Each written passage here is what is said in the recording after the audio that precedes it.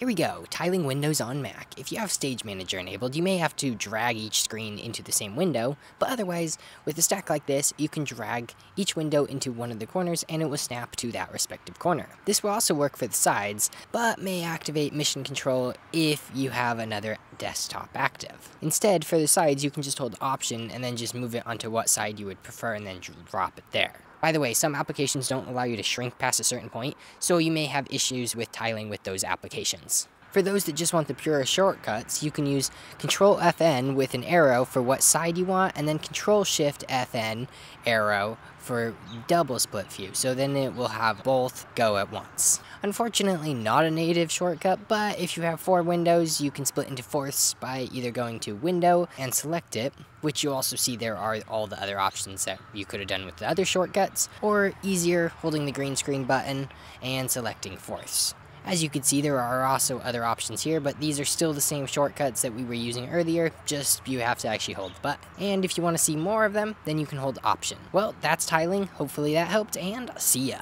Bonus, you can double click any application and it will fill up the desktop.